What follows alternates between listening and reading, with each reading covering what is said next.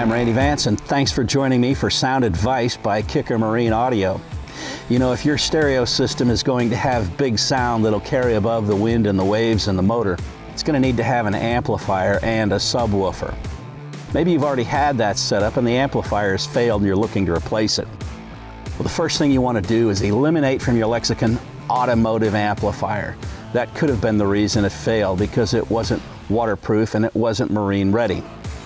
Another cause for failure is low amperage and that could have come from corroded power leads and you need to make sure that you have 4 gauge tin copper stranded wire, a spark arrested fuse, and secure marine terminals.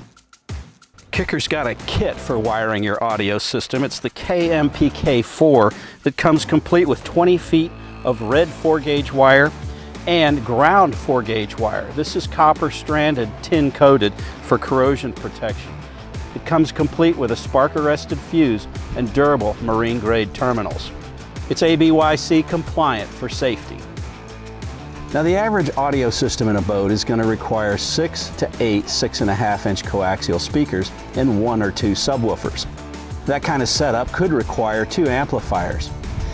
But Kicker has created one called the KXMA 900.5. It's like two amplifiers in one.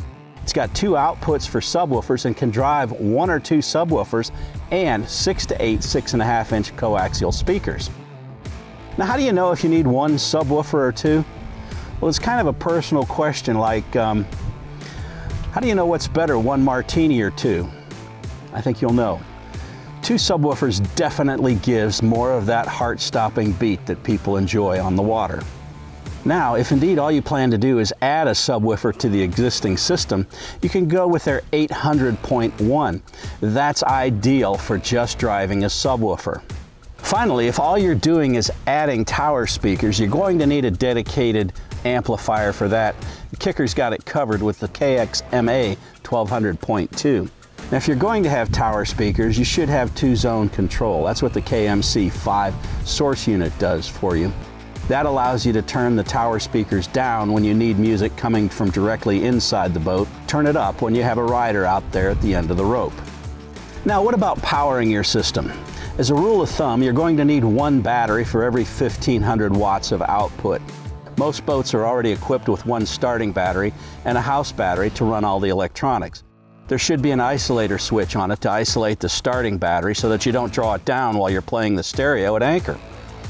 Finally, if you need another battery to run your amplifiers and your speakers, it doesn't really matter weight-wise because you're going to be putting ballast in that boat anyway and that extra battery is just going to give you better wakes.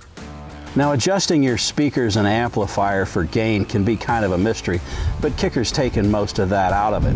First of all, the controls are LED backlit. They'll tell you if you've gone too high or too low by the way they flash. To further take the mystery out of it, Kicker provides downloadable listening tones, and you can listen to them and watch as you adjust.